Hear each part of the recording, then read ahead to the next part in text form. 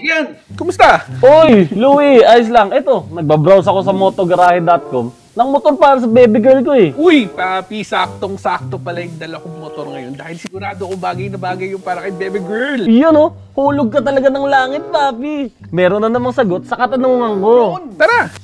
Tara! Hello mga Moto Peeps! Welcome sa bagong episode ng motogarahe.com test ride kung saan itetest namin ni Papa Gian ang mga motor na available sa Pilipinas at isi-share namin ang aming opinion about sa performance, looks, at overall value for money. Kaya tara mga Moto Peeps, samahan nyo kami i-test ride ang Honda Genio.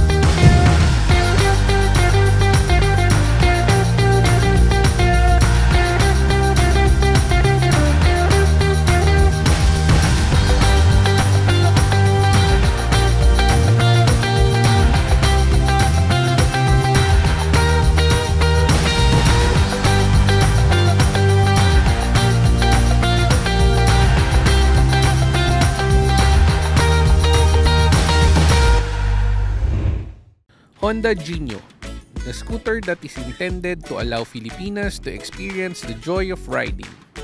The chic design and special features of Genio will solve the mobility concerns of the female commuters. The Genio is a scooter powered by a 110cc engine, 4-stroke, air-cooled single overhead cam. Very stylish rin ang Genio with its stylish decals at stylish taillight. Hindi rin problema si baby girl sa visibility with its modern LED light. And syempre, well-informed ka rin sa kanyang digital meter panel. Kalimutan mo na rin ang low bat kasi the Genio has a power outlet underneath the seat kung saan pwede ka mag-charge ng inyong gadget. Marami ka ring space para sa Kikay Kit dahil bukod sa spacious underseat compartment, spacious rin ang front inner rack. Ride with confidence din si Baby Girl with the front disc brake at syempre may park brake lock din. Tubeless na rin ang Genio at may safety side stand switch na din siya.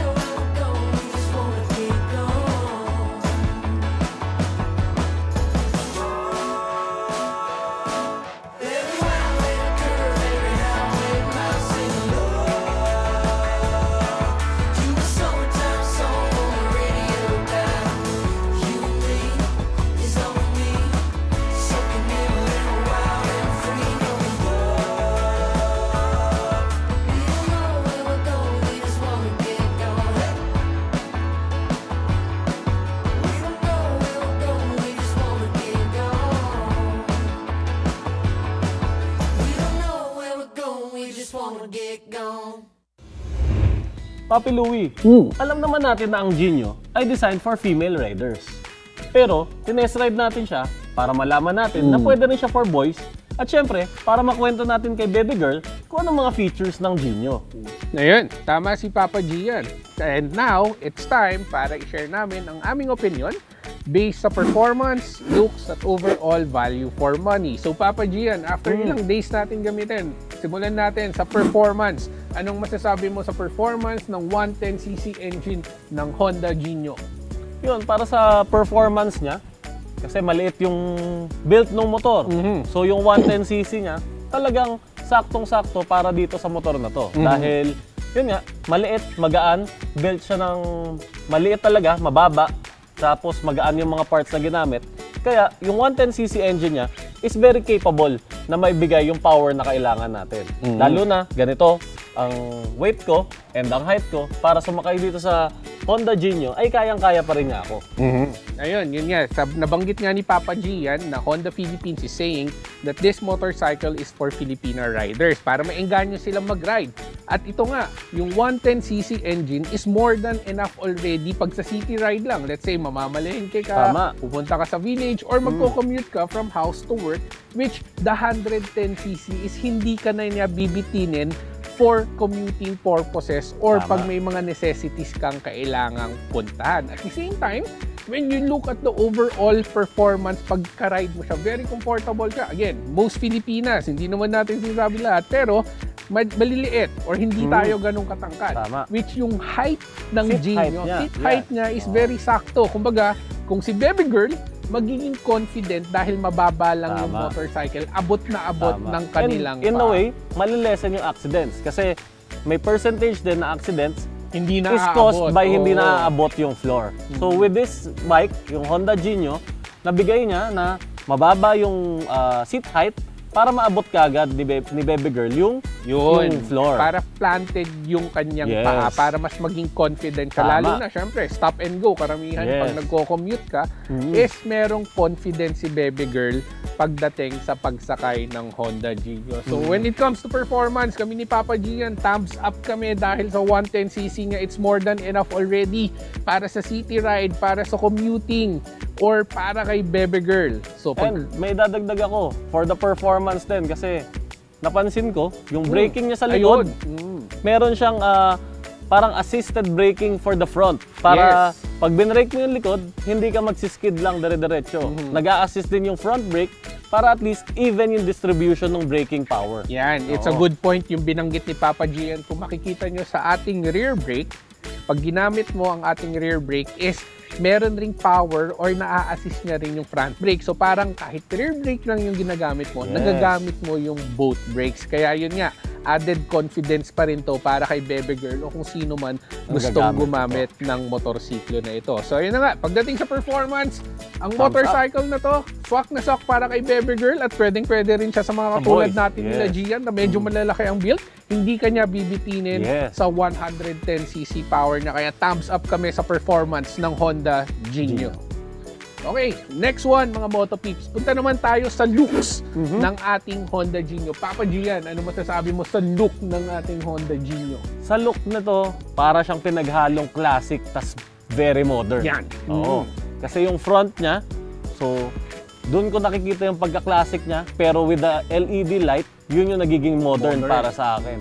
Ngayon, eto namang curve sa likod, yun naman din yung kinagustuhan ko dito dahil Mm. Patulis siya. So maganda yung curves niya.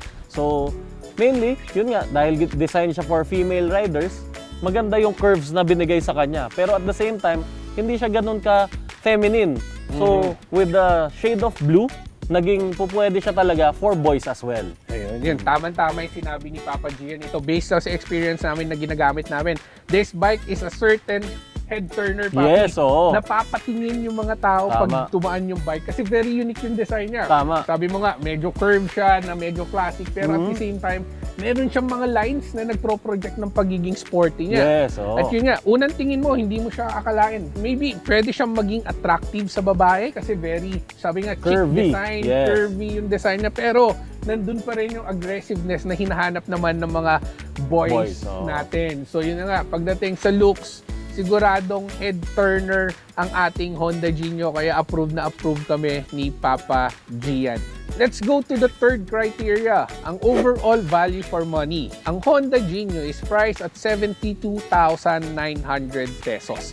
Papa Gian, sa price na 72,900, sulit ba o hindi ang Honda Genio?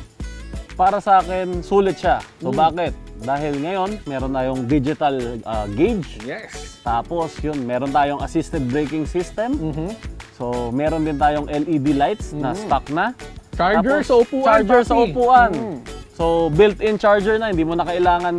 Usually kasi nagiging problema pag nagpapasplice ka ng wire. Oo. O magkakabit ng charger. So, dito sa Genio, hindi mo na siya problema kasi under the seat, wala ka din problema kung mabasa dahil covered siya. Correct. Okay? Hindi siya exposed. So, Anytime na magcha-charge ka, pwedeng nasa loob ng uh, underseat compartment mo.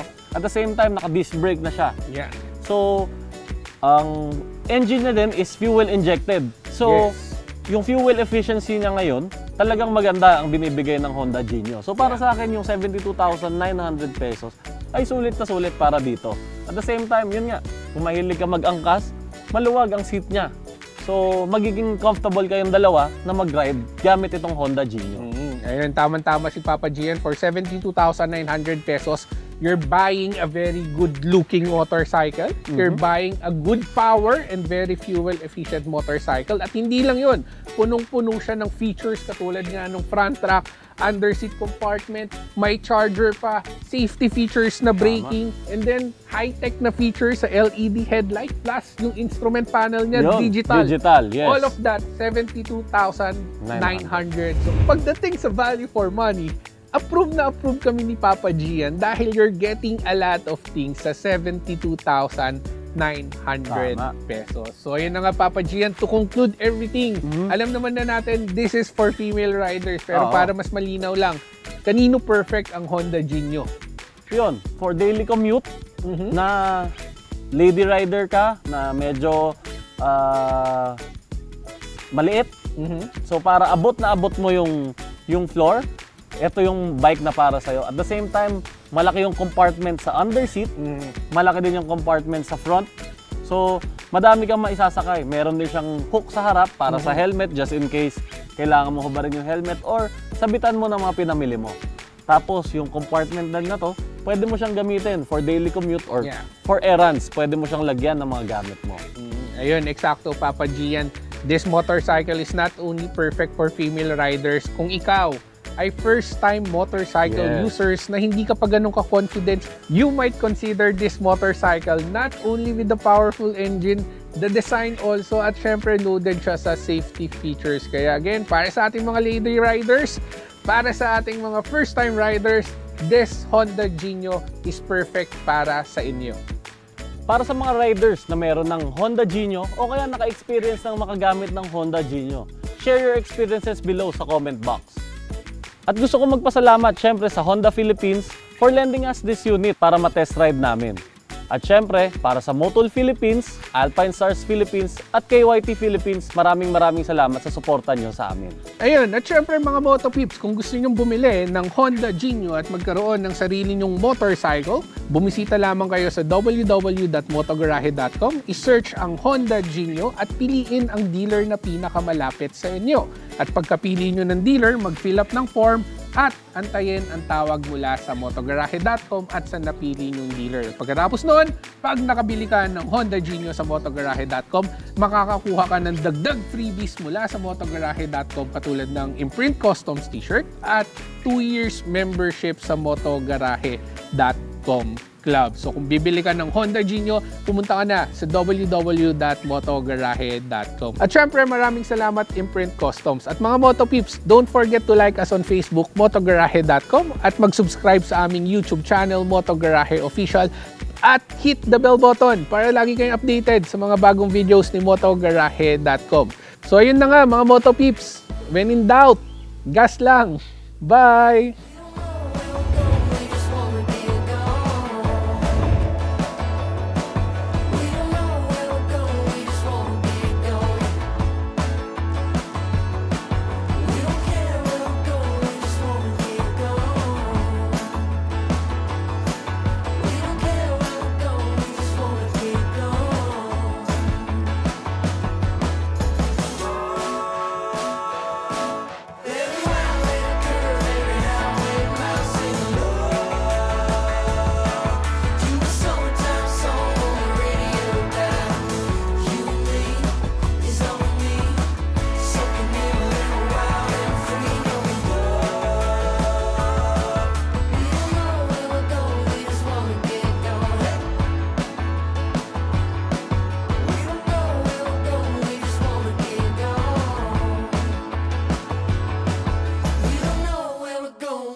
Photogarahe.com.